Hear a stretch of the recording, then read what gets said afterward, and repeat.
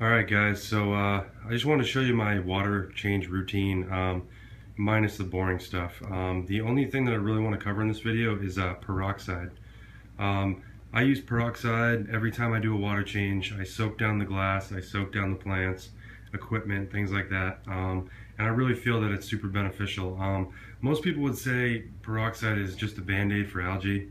Well, in most cases they're right. Um, but when you use peroxide, it will get rid of any of that brownish, any that, any algae or anything that's on your plants.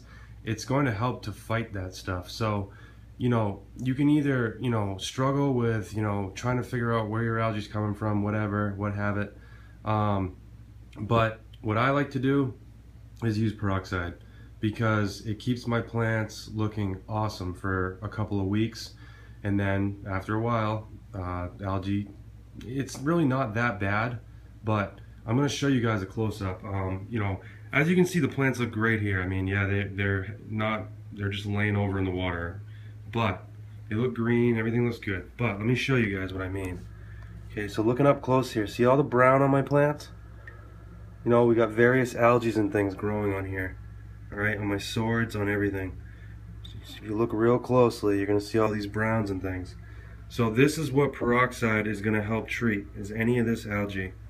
Okay? So you'll see these bigger swords have it on it. Um, you know, it tends to be on certain plants, but most of the plants have it. You can see the brown, stuff like that. Alright guys, so what we do, just bear with me for one minute. I've got a little spray bottle here, a pump bottle. And what I'm going to do is I'm going to show you how to how to do this, okay? So what I have is a bottle like this. It's a spray bottle, okay? I'm going to go right down in here.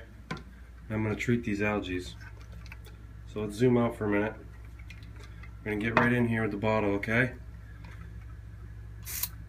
See that? I'm just spraying, spraying on the plants making contact with everything, spraying the glass, you know, anything that has algae on it. See that piece of equipment that has algae on it? We're gonna hit that. Okay? What you're gonna notice is it immediately starts foaming up. It turns white. Okay, it's a little hard to see, but I'll try to show you on the front glass here.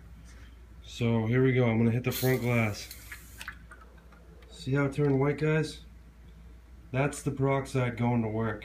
It's killing the algae.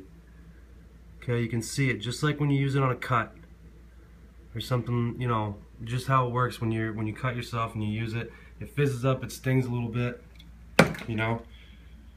You can see it going to work. So that's what you want. Alright, so that's just a little tip, guys hydrogen peroxide in a spray bottle. Thanks for watching.